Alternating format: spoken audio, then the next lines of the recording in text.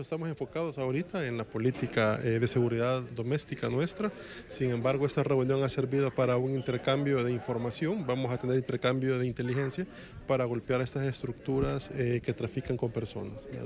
Eh, se, se, abordaron temas importantes en temas de migración y nos dieron el respaldo también de las acciones que estamos ejecutando en El Salvador respecto al, al combate frontal que estamos realizando a las pandillas. Información como tal válida que están mirando hacia Guatemala o Honduras, no la, no la tenemos. Lo que sí estamos seguros es que estamos teniendo efectividad en nuestro plan control territorial. Nosotros, de hecho, somos el el país que quizás tiene los mayores porcentajes en cuanto a la migración forzada. Eh, crear las condiciones eh, en el país, eh, las, las, condiciones de reconstrucción del tejido social, el fortalecimiento de la prevención de la violencia, el tema también de la reinserción de los privados de libertad y por supuesto tener, y tener como gobierno un control en nuestro territorio.